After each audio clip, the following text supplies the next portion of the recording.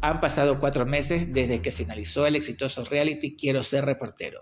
Desde entonces, los ex participantes no han dejado de continuar en busca de sus sueños. Así tenemos que Daniel Merlo, el ganador, ya es parte del programa farandulero de Boca en Boca, en donde se destaca por sus interesantes entrevistas y reportajes.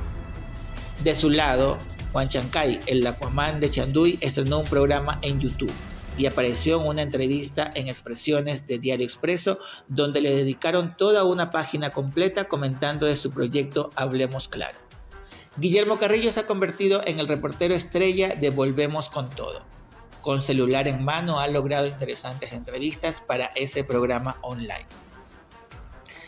La guapa Kiara Gavilanes no se queda atrás y brilla como comunicadora en el DIRCOM del GAT parroquial de su natal Mariscal Sucre, destacándose en impulsar la ayuda social. Mauro Espinosa encontró en Telepremiere y el programa Agárrate el sitio ideal para imponer su estilo dulce y caballeroso en las entrevistas. No solo es reportero, a veces comparte el set de la televisora online con Tabata Galvez y Mayra Jaime. Mauro Bermúdez optó por destacar su voz y dotes en la animación. Desde una cabina de radio comenta de temas variados.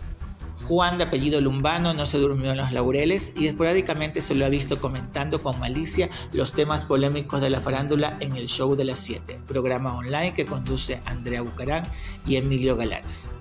Felicitaciones chicos, pero aún hay más y pronto seguiremos informando sobre qué hacen los otros ex participantes de este reality.